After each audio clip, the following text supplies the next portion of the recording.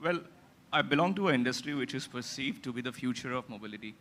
Well, it's not the future of mobility, it's the present of mobility.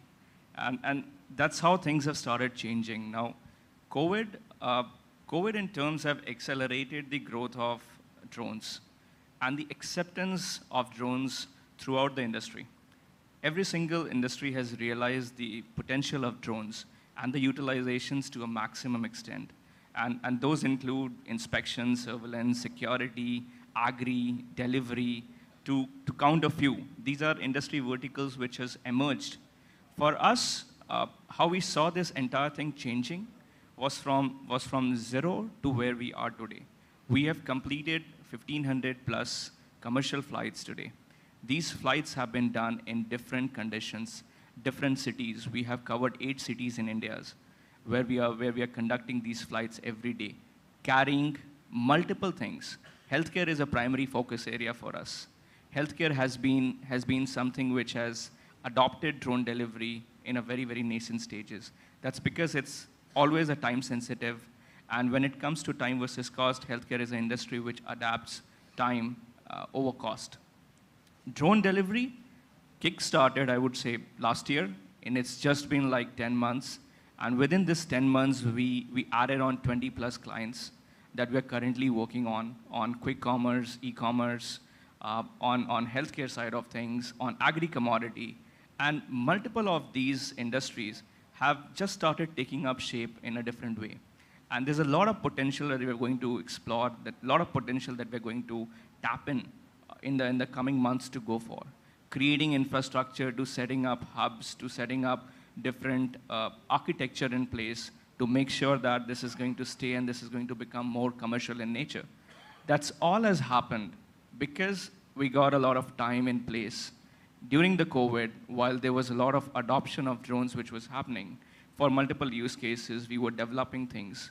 We were doing things in a more prudent manner to, to have the best of best technology to coming in, utilizing the best of resources available in India, the engineering resources to develop something which is going to come up live, and it should not take more time from going from a trial or POC stage to a commercial stage.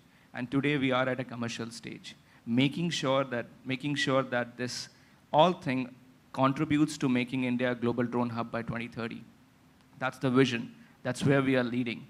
And how we see drone delivery, drone delivery is going to contribute to at least 60 to 70% of that growth which is going to happen towards making India a global drone hub. So yeah, I would say that COVID has accelerated a lot of growth for us. The government has done a lot on, on the drone side, right? They came out with a PLI scheme, uh, and, uh, and the ministry themselves have been really focused on, on getting this to take off. Uh, on the flip side, there are, there are challenges in terms of what you can import in the country. How, is, how are these two factors playing for the business? One is, on one side, you have PLI and an enabling environment. On the other side, you are restricted to import uh, stuff uh, which which could create challenges in terms of how the ecosystem is within India and it may take some time to grow. How is that impacting business, if at all? So at first it did impact it, but you have to look at the look at the brighter picture of why PLI was brought in. And I remember my all conversation with Ministry of Civil Aviation that PLI was never intended for drones. And for drones, PLI came in like fortnight.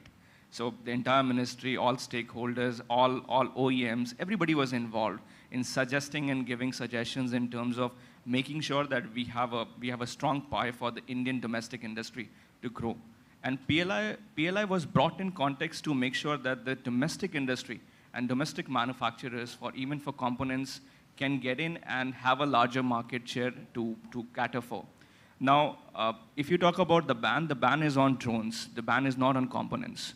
You can still import components, try to make uh, frames here, try to do all mechanical structures here. India has a big base for carbon fiber structuring, for plastic molding, etc. And for all mechanical and structural things, Indian, Indian uh, manufacturers, SMEs, can very well be utilized. The electronic components do come from outside. The import is not banned. We do import those components and try to assemble and try to make majority of the things out here. in context to provide and, and bring up a base for PLI to take off. Now, for any, any electronic component to come in place, or for anybody to utilize, I'm sure that a product which is coming from a R&D stage, you're not going to utilize commercially uh, that product without, without having a reliability factor or without having a lot of data to prove the reliability of that particular equipment. We have equipments which we are procuring from outside which has proven reliability over last few years, five years, seven years. Those are electronic components that we use in drones.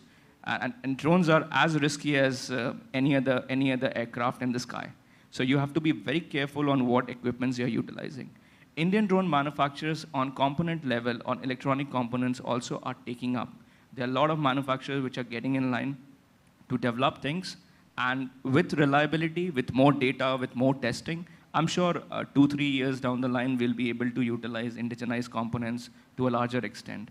And that's the idea for PLI to kick in, to at least provide a base for people, for SMEs, for other startups to get in and at least start making these or investing in R&D to make these components in India, which I think is working to a certain extent